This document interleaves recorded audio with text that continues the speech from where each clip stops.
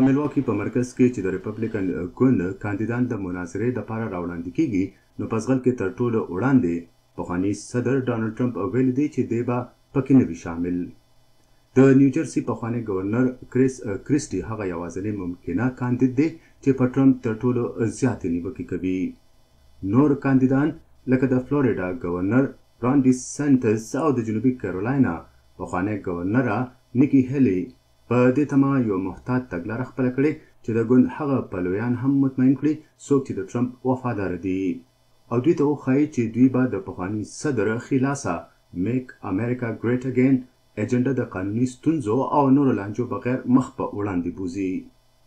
په دغه کسانو کې به پخوانی مرستیال صدر مایک پنس هم شامل وي. چا چې د ټرمپ د خواهشاتو خلاف د کال دوه زره شلم د انتخاباتو د نتیجو پخلی کړی وو او اوس د خپلې فیصلې دفاع کوي. دی د کال دوه زره څلویښتم د پاره د ریپبلیکن ګوند د ووټرانو د خوښې د نظر پوښتنې په رایو کې روستو دی.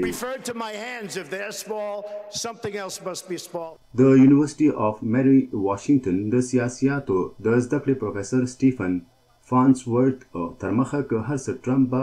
د تندروه بیانونو سره په سټیج خپله په مناظره کې نه وي موجود خو خبرې به زیاتره هم د ده په هکله کیږي چې پکې ده باندې د صدارت نه وړاندې، د صدارت په وخت او بیا وروسته د نوي نه زیات د غیر قانوني ګامونو تورونه لګول شوي دي. دا د ریپبلیکن ګوند د نورو امیدوارانو دپاره یو مشکل رامخې ته کوي ځکه چې د اقتصاد او اوکراین یا د مهاجرت غوندې د چارو په اړه